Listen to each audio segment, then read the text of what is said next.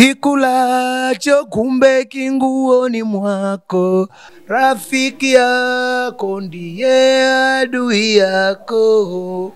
Ninacheka naye ninakula naye, kumbe mwenzangu anaona gere lelelele. Yeah, Mr. Nice, Mr. Nice, the legend, Mr. Nice, mtu mkubwa. Unaangalia PTV Tanzania, nawapenda sana. Mwah.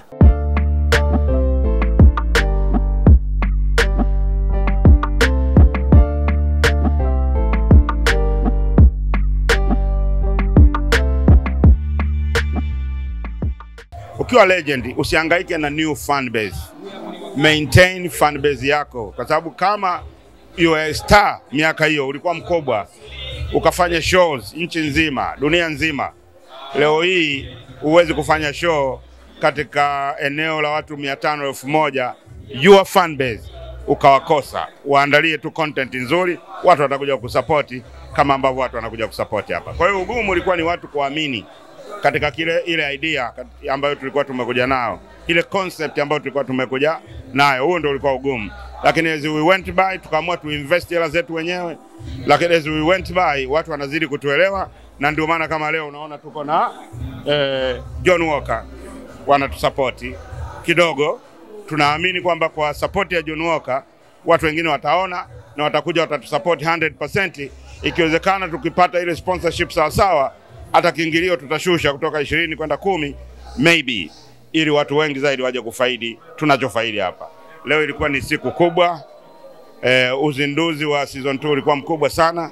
Tulikuwa na mabalozi takribani nane umndani wa nchi za Ulaya, balozi wa Marekani, balozi wa Spain, balozi wa Belgium, balozi wa EU, balozi wa France e, taja walikuwepo umndani na wengine bado wako ndani mpaka saizi wanakula vibe. Kwa hiyo tunaamini kama watu hivyo wawin leo, ina maana kila show watakuwa wanakuja. Daywaka nilianza kuifahamu vizuri sana baada ya kusikia antivirus. Nadhani unani, unanielewa sasa. Yeah. Um, kwa mafanikio ambayo sasa hivi mnafanya kwa ajili ya Legends, kazi zingine kubwa kutoka kwa Daywaka tuseme ni zipi tutarajie? Kwa sababu wewe umefanya kazi kubwa ya kujenga mziki wako, lakini pia umefanya kazi kuhifadhi historia na kizazi cha sasa kinatamani ku, kufanya vitu hivi vikubwa kama corporate hivi, kwa sababu event kama hizi ziko kama corporate. Day Waka, mnafanyaje kwa ajili ya generation ya sasa hivi? generation ya sasa hivi, unajua ukishakuwa na kampuni kama hii ambayo haiko zaidi kwa kuangalia eh, business eh, commercial eh, events, sisi tuko zaidi kwenye cultural events. Kwa hiyo now tuko na program hii na uhakika hivi vichwa bado vipo, bado vinafanya kazi. Kesho kesho kutwa tukiamka, inshallah tutakuja na idea nyingine kulingana na mahitaji, lakini kwa sasa hebu tu concentrate wote kwenye Bongo Flava Hanas season 2 kwa sababu tunatarajia kwenda season 2, season 3, season 4, season 5 kama alivyosema Rayvanny pale, umemwona kwamba na yeye anasema siku moja atakuja kuwa mkongwe, na ndio hivyo. Tunachotaka ni kwamba Bongo Flava Hanas iwe kama Hall of Fame ya rock and roll huko, yani iwe sehemu ambayo tunafanya induction ya wote ambao watakuwa na mchango katika mziki wa Bongo Flava. Tumefanikiwa so far na tunaenda vizuri, inatutia moyo na tutaendelea hivyo. Wasanii wengi wamefanya kazi kubwa na saa ingine wanaondoka hapa labda duniani, hakuna mtu ambaye ana recognize. Unafahamu way back kina Dr. Remy, lakini generation iliyokuja na sasa hivi generation mpya, Ngwea, Langa, nani nani, then kama Digwaka mnafikiria kufanya nini kwa ajili ya kufanya kumbukumbu kama hizo Hall of Fame ambazo zimekuwa zikifanyika duniani kwingine, lakini pia vizazi vinavyokuja viweze kuona vitu kama hivyo vipo. hiyo kweli tunaiconsider, tunafikiria mezani, tukikaa kwenye vikao tunawaza watu kama hawa tutawafanyiaje eh, eh, events kama hizi wanaita posthumous, baada ya kufa tutafanyaje? Labda umlete ulete, usiku wa let's say wa Mangwea, labda upate wasanii ambao wataweza kuja na kuimba nyimbo za Mangwea, kwa sababu pamoja na yote hatukuheshimishi tu, lazima performance ifanyike kupitia nyimbo zako, ili mashabiki wako duniani wakumbuke kila kitu. Kwa hiyo tunazungumza tunazungumza kwamba tutafanyaje kuwaheshimisha producers ambao waliujenga umziki kama Bonny Love, Master J, P Funk, Henrico, eh, Marlon Linje na kama hao wote hao wanastahili kupata plaki katika mchango wao kwenye Bongo Flava. Thank you.